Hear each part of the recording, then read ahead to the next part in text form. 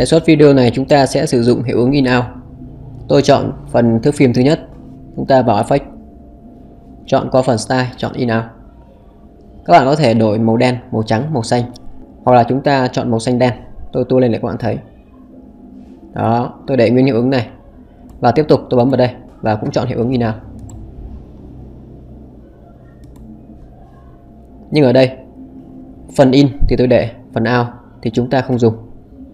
Phần nào chính là phần ở đằng sau này các bạn. Nó sẽ có hiệu ứng như nào phần sau này. Tôi sẽ không dùng phần này. Hoặc là nếu có dùng, tôi sẽ dùng ít thôi.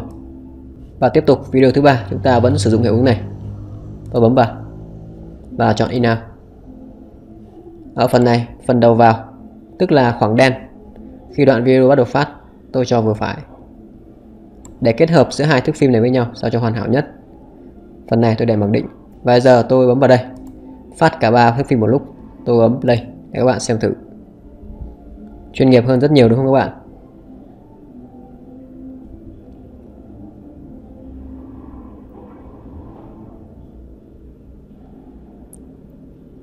Tôi thấy thế này cũng tương đối ổn rồi.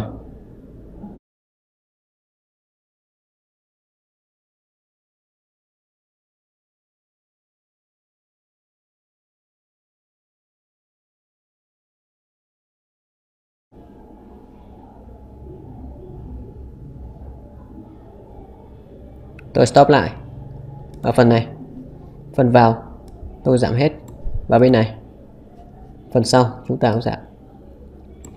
Chúng ta kéo tua để thấy. Tôi bắt đầu chạy từ đoạn này. Lấy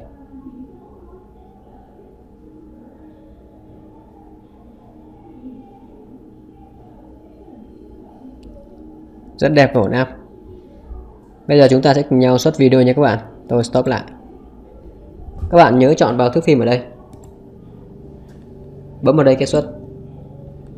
Tôi chọn MP4 tôi sẽ để chất lượng tương đối cao. Ví dụ 200 frame trên một giây thì chất lượng quá tuyệt vời. Tôi để chất lượng 3 sao. Và độ phân giải tôi để cao nhất. 1440 và chúng ta bấm Start tôi lưu ở đây video 01